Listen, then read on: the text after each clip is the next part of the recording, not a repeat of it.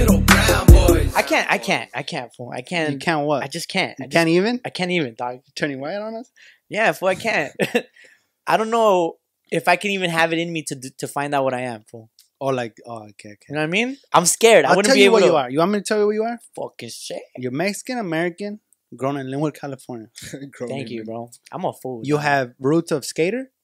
You have roots of uh, hip hop head Uh huh. and heavy roots of uh, paisa.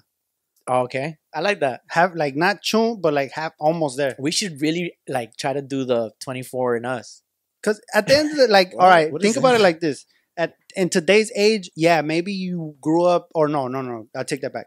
Maybe your family's roots are in Oaxaca, right, or wherever. Choose a place somewhere else. But you grew up here, listening to this music, hanging out with these people. So, like, how much of your identity is your roots, and how much is it Simon. Mm-hmm. you, what you grew up with? So it's like nature versus nurture, right? You're so smart, fool.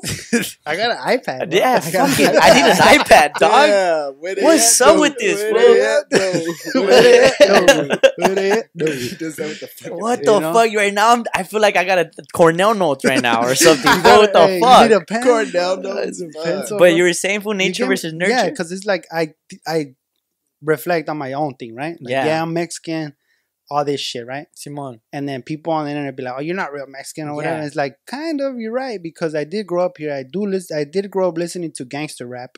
Mm-hmm. I didn't grow up listening to Chalino like most people Mhm. claim they do. Yeah. You know, like as soon as you turn a cumbia on, I dance, right? But I don't listen to it at the gym, you know, or like anything like like my identity is more based on how I grew up than than what came before me. Even though I still carry that with me like subconsciously. So you don't listen to a lot of Spanish music, like on the regular when you're driving or anything. Not a lot, but like I'll I'll get a mood.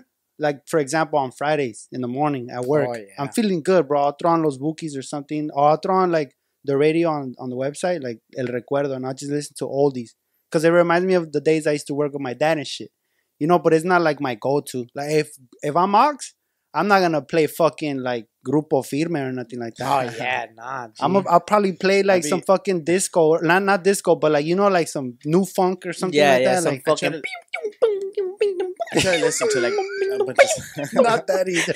nah, some sandstorm. you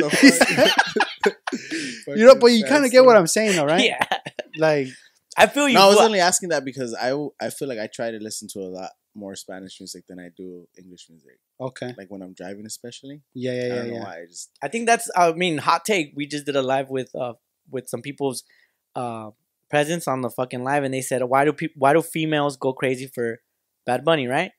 And I think the, we just explained it right now. It's just because the Latino shit is hot right now. It's hot. It's hot, and Yep, that's why yeah. people going crazy for Bad Bunny, who's representing us like sick as fuck. I get you. You know what I mean? Yeah, yeah, yeah.